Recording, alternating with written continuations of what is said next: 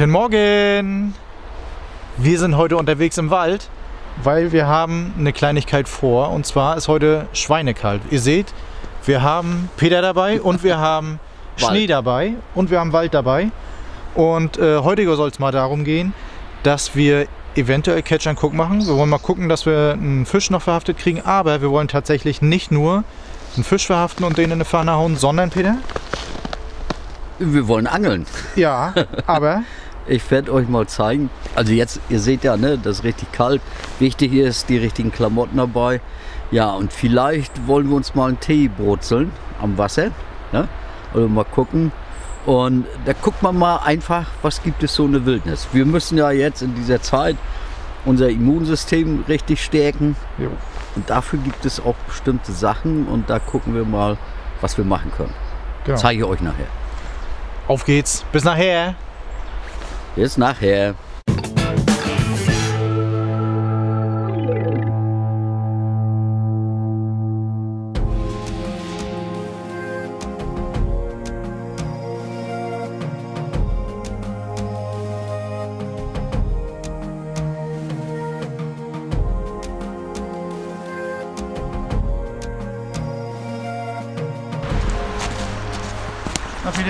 Na Heiko, Mich oder was? hast du was gefunden? Nee, Nicht? ich habe nichts. Aber ich habe gesehen, dass du was gefunden hast. Ne? Ja. Von daher Muss man so machen. schon wieder alles richtig gemacht, dass wir unser Teechen kochen können. Ja, natürlich. Einmal alles voll.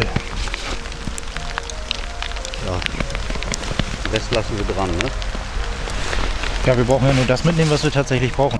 Wir als Angler sollten nicht nur von der Natur leben, sondern immer auch mit der Natur.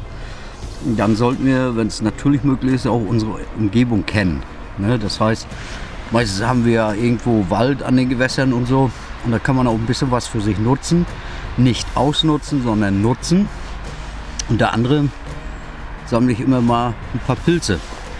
Und das sind sogenannte Vitalpilze.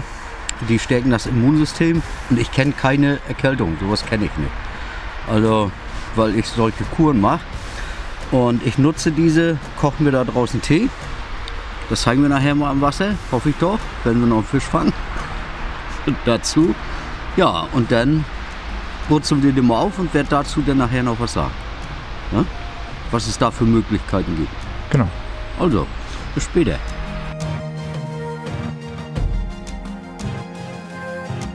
Sind wir hier am See angekommen. Jetzt wollten wir gerade auspacken, sind erstmal zum See gegangen und ihr seht es im Hintergrund vielleicht, ähm, zugefroren. Ich mache gleich mal nochmal eine Nahaufnahme. Hier vorne gerade so noch frei.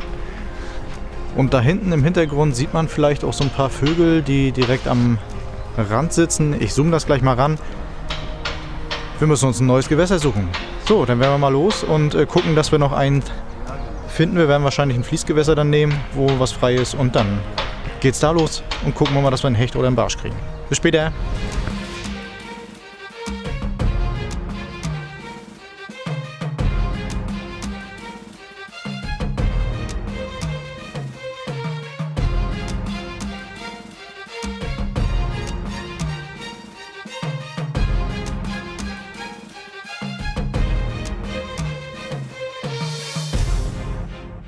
Ich habe hier ja mal was Besonderes. Hier mal gucken.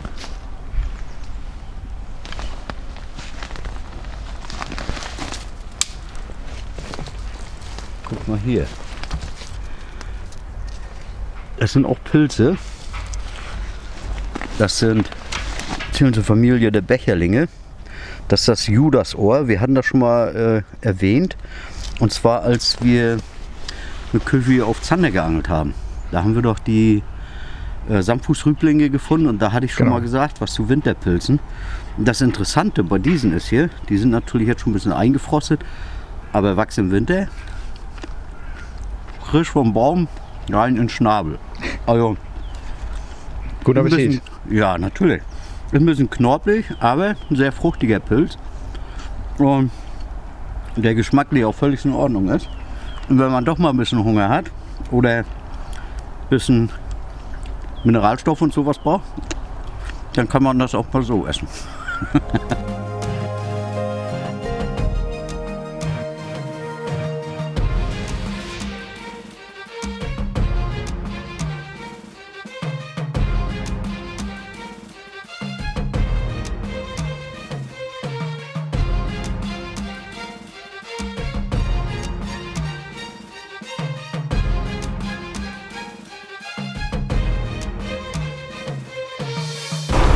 Ja, nun sind wir hier vorhin an unserem neuen Angelspot angekommen, weil der andere ja zugefroren war. Und äh, wir mussten erstmal die Angeln rausschmeißen. Ging nicht anders. Wir wollten ja unbedingt noch einen Fisch fangen, damit wir hier auch Catch and Cook machen können. Bis dato ging nichts mit Fisch, aber Peter war jetzt der Meinung, seinen Kocher aufzubauen, der ja, er sieht nicht aus wie 20 Jahre, er sieht älter aus. Also ich hätte ihn jetzt auf 40, 50 geschätzt, äh, aber er funktioniert und wir wollen uns jetzt mal ein Tierchen kochen, beziehungsweise will Peter das machen. Das ist ein Wildniskocher, also das muss so aussehen. ich zeige den gleich nochmal. Mach mal ein paar Bilder und dann könnt ihr Genau. selbst entscheiden, wie alt er ist. Ja, wir kochen uns jetzt ein schönes Teechen und Genau. dann wird uns wieder warm. So. Genau. Und nicht nur ums Herz. Warte, ich gehe mal ein Stück zur Seite. So, ja, so. Wir machen jetzt ein Tierchen. Ja, besser, besser ist. Wir werden uns jetzt mal ein Teechen kochen. Den ganzen Tag haben wir hier rum experimentiert. Die stehenden Gewässer sind zugefroren. Der Winter hat uns eingeholt. Du ist uns arschkalt. Äh, arschkalt. Naja, der hinten ist auch noch dran, ja. Noch. Noch. Also wir machen uns erstmal einen Tee und zwar brauchen wir dazu Pilze. Ich habe da zwei Stück. Einmal rotrandigen Baumschwamm und einmal ein Birkenporling. Die schneiden wir uns jetzt mal ein bisschen klein, hauen die ins Wasser mit rein, damit die aufkochen. Und das sind Vitalpilze, also stärken das Immunsystem. Ich kenne keinen Schnupfen mehr, aber dazu hat er ja schon was gesagt. Also wir schneiden die mal in Streifen.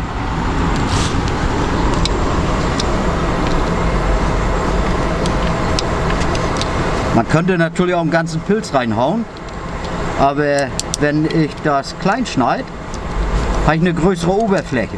Ne? Also gibt das die Stoffe noch besser frei. So.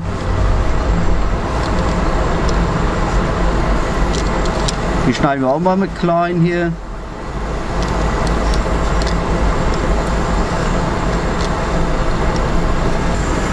Bevor ihr sowas macht, ne?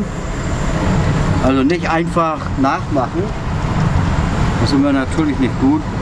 Äh, belest euch erst über die Pilze und geht nicht einfach so im Wald, reißt irgendwas raus, was dann vielleicht nachher nicht so gesund ist, sondern nehmt euch Pilzbücher oder auch im Netz. Ne, da kann man mal googeln nach den Birkenporling, nach den Zunderschwämmen, äh, nach Schmetterlingstramete und sowas alles. Alles, was jetzt so Vitalpilze sind. Und wenn man die denn so hat,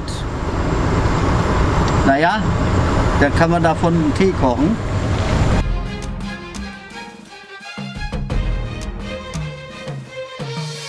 Ja, wie ihr gesehen habt, der Tee kocht schon.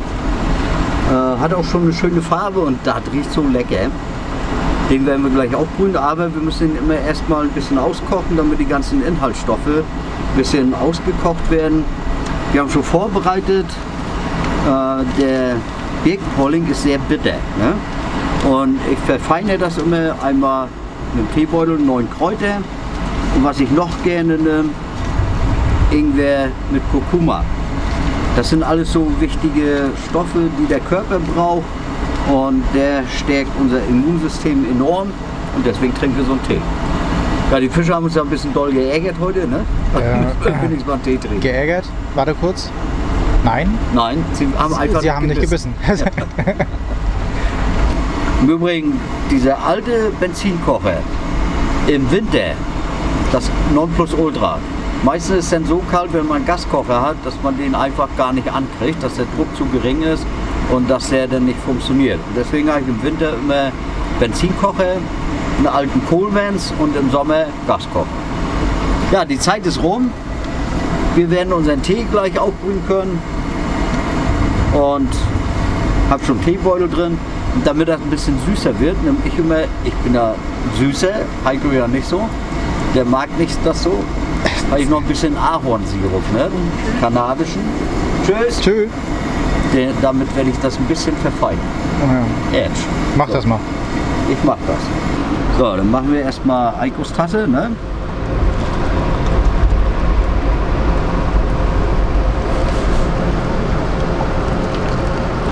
Also, Prost.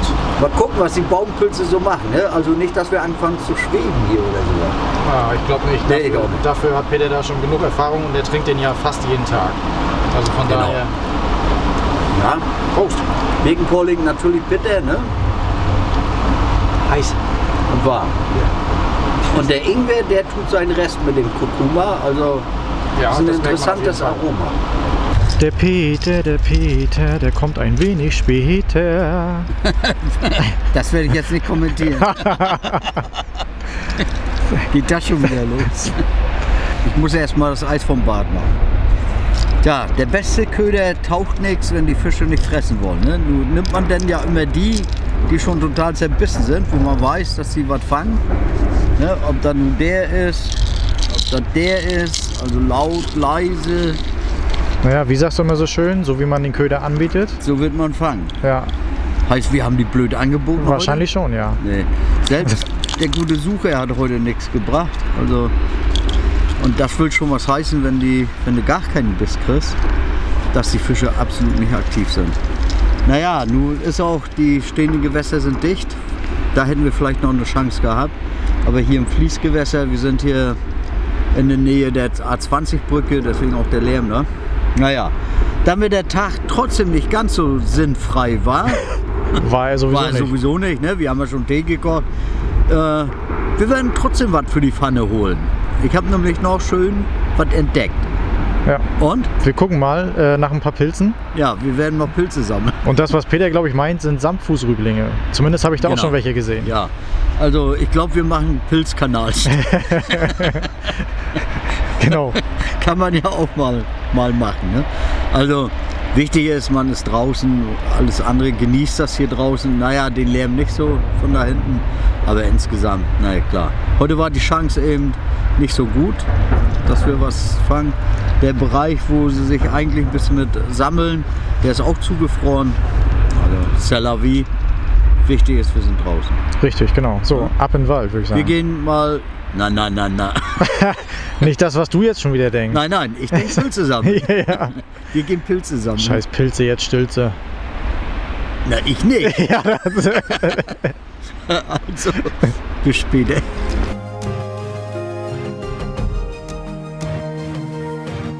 Das sind jetzt äh, keine Hochwasserhosen. Wir wollen jetzt ja Pilze sammeln. Und dazu warten wir mal durch den Fluss.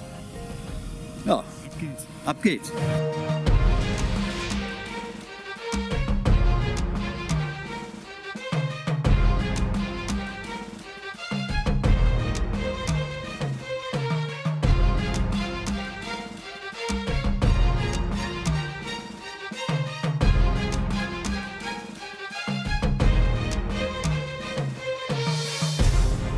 Also eins ist Fakt, die Pfanne kriegen wir natürlich wieder voll. Ne?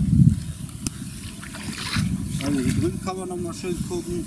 Ja, die sehen richtig gut aus, ne? Im Gegensatz zu den anderen. Also hier haben wir schön was stehen. Da vorne, da oben. Also und da versteckt auch noch ein paar kleine. Wenn wir zum nächsten Baum gehen, können wir uns nebenbei noch mal schwatzen. Im Winter ist es immer wichtig, dass man die richtigen Klamotten anhat. Und gerade Unterwäsche und so ist ja mehr als wichtig. Wenn die Füße anfangen zu frieren, dann hat der ganze Angeltag keinen Zweck mehr. davon Dann muss man Richtung Heimat. Ne? Ja. Heiko hat jetzt ordentlich aufgerüstet. Das verlinken wir euch auch mal. Vernünftige Socken, die man braucht, vernünftige Unterwäsche. Ähm, ich mache das schon seit Jahren. Merino-Wolle. Das ist äh, eigentlich das Nonplusultra, ist atmungsaktiv. Also wenn man was schleppen muss, dann schwitzt man ja schnell.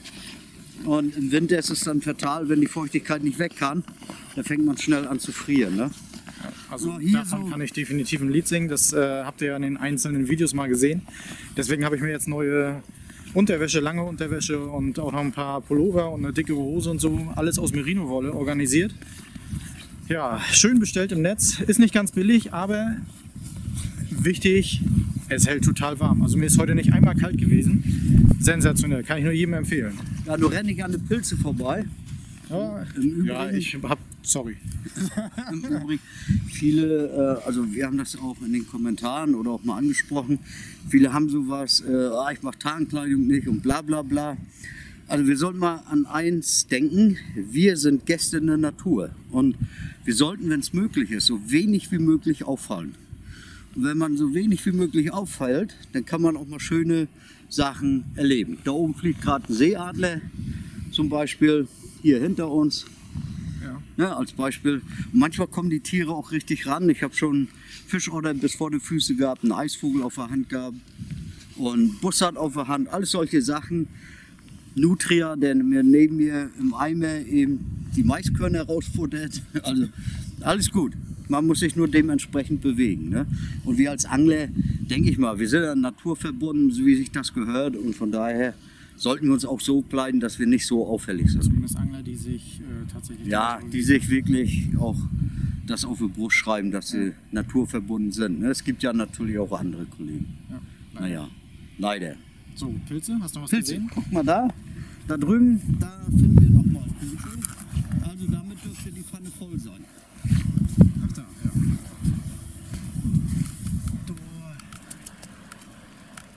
Alles voll. Okay, dann. Ja, ihr wisst ja, was jetzt passiert. wir fahren nach Hause, hauen die Pilze in die Pfanne. Wenn schon heute keinen Fisch gibt, dann gibt es wenigstens Pilze. Außerdem fängt das wieder an zu Schneeregen und wird Zeit, dass wir ins Auto kommen. Also, heute mal kein Fisch, ist auch nicht so wichtig. Naja, ist angeln, ne? kein Fische greifen, ist okay. Aber dafür lecker Tee gekocht aus Pilze, Pilze gesammelt für die Pfanne. Was will man mehr? Eine schöne Mahlzeit. Schöne Mahlzeit. Genauso ist In es. diesem Sinne, Viel Spaß. In diesem Sinne, schönen Sonntag noch. schönen Sonntag von Heiko und Peter, die Pilze. Die lassen wir uns jetzt schmecken. genau. Und wir sehen uns beim nächsten Mal. Und übrigens eins immer, Leute, der muss nach da. Ja. Nicht so, sondern so. Der passt. Also viel Spaß. Tschüss.